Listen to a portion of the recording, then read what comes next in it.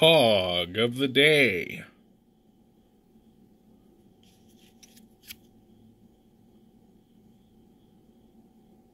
Looks like a misprint right there, you guys.